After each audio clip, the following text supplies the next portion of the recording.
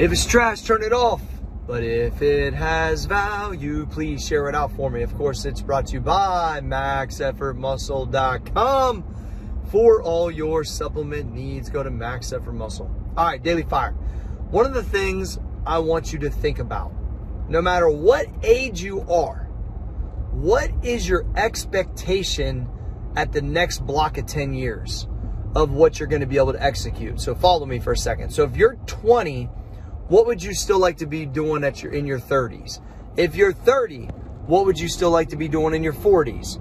If you're 40, what do you think your expectation is in your 50s, 60s, 70s, 80s, and 90s? And on top of that, try to look forward even more so. So if you're 30 and you're able to snowboard and you're lifting, you're like, man, I'll be doing this when I'm 50. But are your actions at these other ages going to contribute to you being able to do those things? That's what you have to think about. So sometimes what people are doing and what they think is going to happen is some fictitious shit. And you need to wake up to that. So if you are 40 and you're thinking, I want to have this same lifestyle when I'm 60, you better double check your shit to make sure you can keep it up when you're 60. Are you doing enough stuff that's going to keep you strong, mental, physical?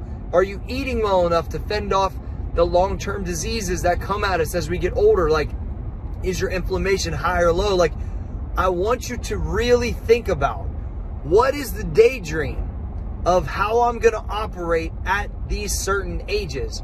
I'm about to be 45.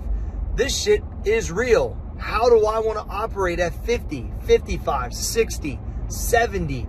I saw my grandpa lift weights all the way into his 80s. Like, you need to think about the future because some of the things they're going to come our way, you can prevent through lifestyle. You can prevent through like dedication. You can prevent through making sure that you're on your game. So I want you to think ahead. I want you to think about how you want your quality of life to be. It's not about right now. Uh, it's not about right now. It's not about immediate. These things in our body, they take years and years to manifest in the wrong way if we don't handle our shit. So please, just think about the lifestyle you want to have and live that today.